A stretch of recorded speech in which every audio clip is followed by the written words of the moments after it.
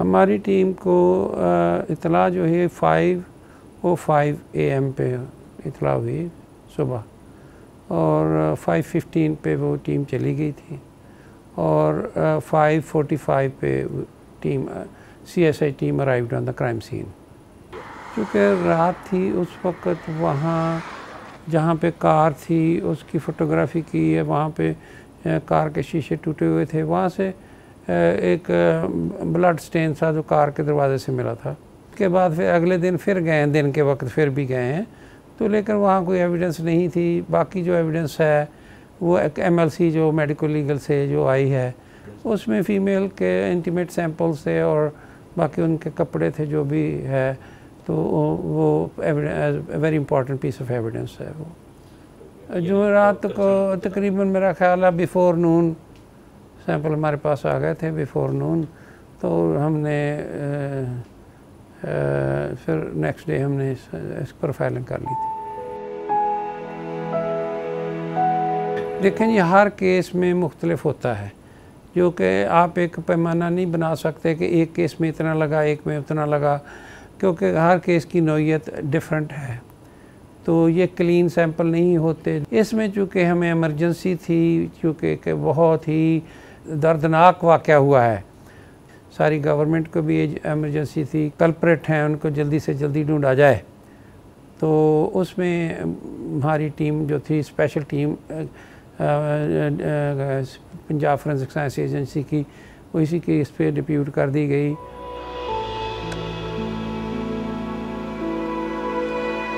Two thousand thirteen में एक case हुआ था।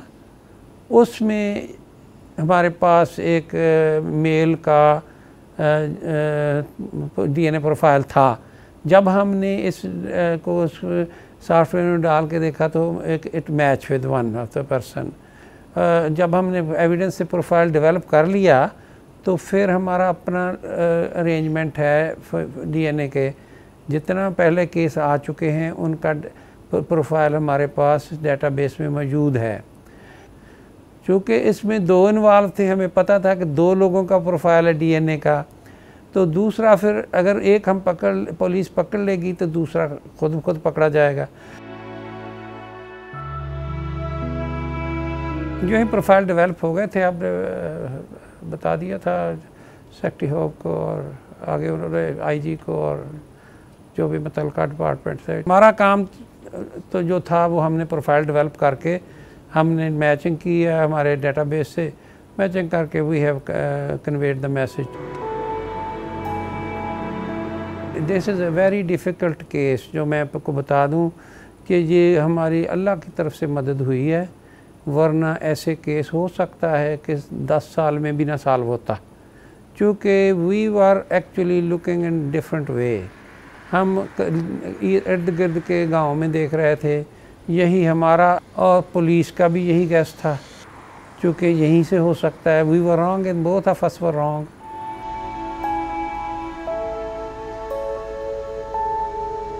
जब डेटाबेस बनता है, उसमें से आपके चांसेस केस सॉल्व करने के बहुत बढ़ जाते हैं। अगर डेटाबेस ना होता तो हम इसको चाहे 50 साल लगे रहते तो ये केस सॉल्व नहीं होना था। इसलिए मेरी सबसे रिक्वेस्ट यही होगी कि पाकिस्तान में कानून बनाएँ डेटाबेस के, और जितनी जल्दी हो सके डेटाबेस बनाएँ, ताकि लॉ इन्फोर्समेंट एजेंसीज जो हैं पुलिस उनको भी ब्रीदिंग प्लेस मिले, क्योंकि अनड्यू प्रेशर पड़ता है उनके ऊपर। क्योंकि वो भी हमारी तरह इंसान है, उनका जादू तो नहीं है। इन्वेस्टिगेशन करनी है तो दीज आर मॉडर्न टेक्निक्स तो ये कानून बने और फिर ये चीज़ें आगे आएँ। डीएनए का अब हमें ला बनना है।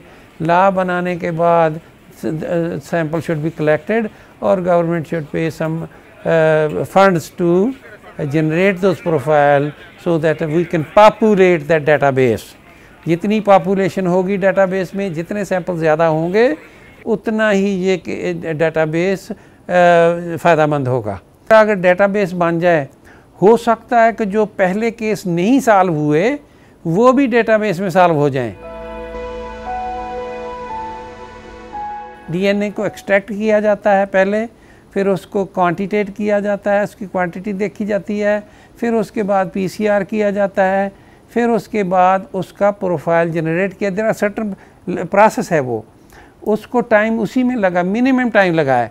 लेकिन जब मिल गया तो वो मैच में तो चंद मिनट लगते हैं। तरह जब शफकत का आया वो हमारे पास चंद घंटों में हमने कर लिया। उसको जो लगा टाइम है, वो लगा उसको प्रोफ़ाइल करने में। दो डेटाबेस होते हैं। एक होता है इंडिविजुअल डेटाबेस जैसे कि हमारे पास कोई केस में सस्पेक्ट आया है। उसको हम कहते हैं स्टैंडर्ड डेटाबेस दूसरा होता है फोरेंसिक सैंपल्स का। जैसे जो एविडेंस के सैंपल हैं, ये भी अब चले जाएँगे डेटाबेस में जो है। वो हमारे पास आठ, तकरीबन अप्रॉक्सीमेटली आठ हज़ार के करीब हैं।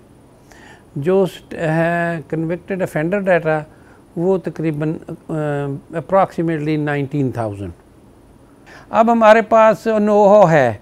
हमें एक्स्ट्रा मैन पावर चाहिए थोड़ा सा एक्स्ट्रा इक्विपमेंट चाहिए, बाकी कंज्यूमेबल्स चाहिए, ताकि हम उसको कंटिन्यू रखें डेटाबेस एनालिसिस के लिए। और तीसरी चीज़ जो बहुत इंपॉर्टेंट है, वो government must make a law किन किन लोगों से हमने सैंपल ले सकते हैं? हमारे जो इस तरह के केस सालाना आते हैं, वो पंद्रह हज़ार से ज़्यादा हैं केस, जिनमें पंद्रह से बीस हज़ार के करीब हैं जो एनुअली हम केस रिसीव करते हैं। लेकिन आगे कन्विक्शन जो हमारा काम है रिपोर्ट देना। आगे कन्विक्शन हमारा काम नहीं है।